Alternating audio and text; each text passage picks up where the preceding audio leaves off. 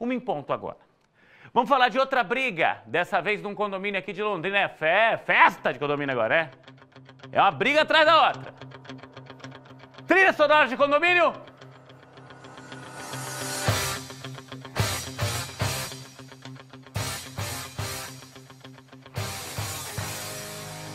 Amanhã, tá?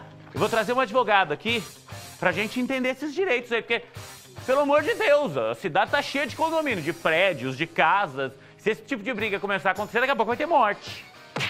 Teve um idoso que entrou na justiça e conseguiu uma medida protetiva contra o empresário, que seria um ex-morador do condomínio, mas continua frequentando o prédio.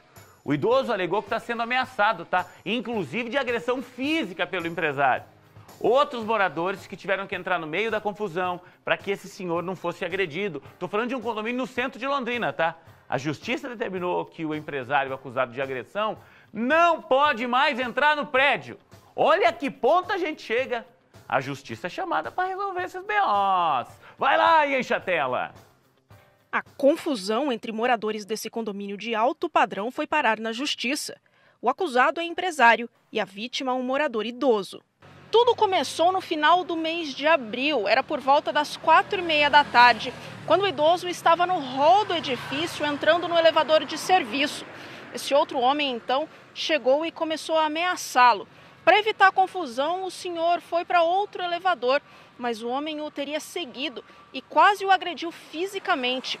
Outro morador viu a cena e conseguiu evitar o pior, mas a briga não parou por ali a família do idoso conseguiu na justiça a proibição da entrada no homem no prédio. Saiu atrás do idoso, gritando, o ofendendo, o injuriando na condição de idoso, dizendo que era uma pessoa velha e uma série de palavras que eu não posso aqui repetir, e o ameaçou. E só não conseguiu seu intento porque o idoso conseguiu chegar ao elevador social do prédio, onde estavam dois outros moradores, sendo um deles uma pessoa de grande complexão física, e que impediu que ele fosse agredido. Então, diante disso, o idoso solicitou junto à vara criminal de Londrina uma medida protetiva para que essa pessoa se afastasse a mais de 100 metros dele e não pudesse mais frequentar o, o, o mesmo prédio, porque evidentemente ele poderia sofrer agressões dessa pessoa que tem histórico, inclusive, de agressões de outras situações, conforme foi descrito pelo próprio Ministério Público.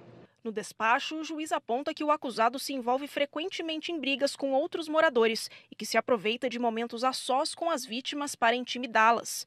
Ele, por sua vez, se defendeu na justiça, dizendo que tudo não teria passado de um mal entendido e que tanto ele quanto o idoso teriam se exaltado. Mas os argumentos não convenceram o juiz da Quinta Vara Criminal, João Henrique Coelho Hortolano. Segundo a decisão, o empresário fica proibido de frequentar o prédio e não pode se aproximar nem ter contato com o morador, devendo manter uma distância de pelo menos 100 metros. O acusado não mora mais no edifício e frequentava o local porque estava reformando o imóvel.